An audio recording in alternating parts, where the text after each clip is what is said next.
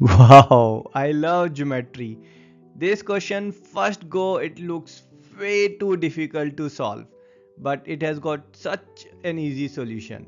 So this question we have given a regular heptagon where this side length is x centimeter, the length of this red and purple diagonal is y and z centimeter.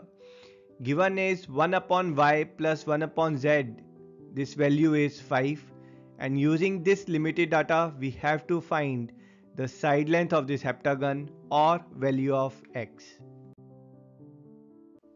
Let's check this unexpectedly easy solution. The side length of this regular heptagon it's given x centimeter. So BC length, CD length, DE length all will be x centimeter. How about this diagonal length EC here? So EC length that will be by symmetry will be same as AC length or Y centimeter. Same way when I'm talking about the diagonal length AE here. So AE diagonal length will be same as AD or Z centimeter. Now the interesting part it's a regular polygon and regular polygon can be fully enclosed in a circle. So all regular polygon are circumscribing polygon.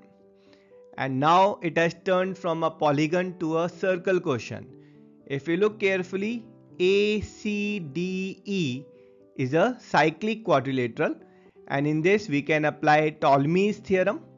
Now Ptolemy's theorem says that in cyclic quadrilateral the product of diagonal length that is P times Q this is equals to sum of product of opposite sides that is side A times C plus side B times D.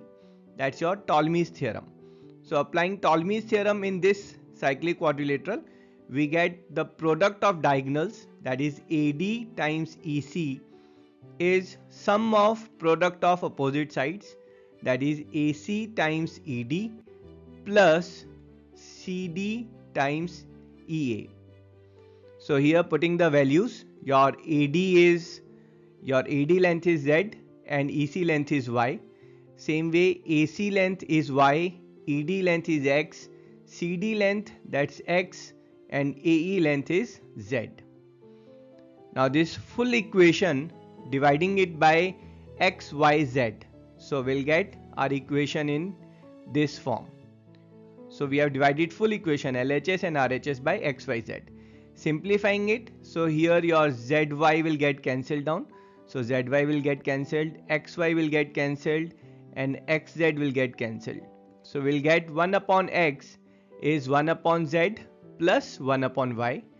But 1 upon Z plus 1 upon Y that's given to us as 5. So we are getting here 1 upon X is 5 or X is 1 upon 5 or x is 0.2 units and that's my answer. I hope you enjoyed the solution. I will see you in next video. Till then, tata, bye bye.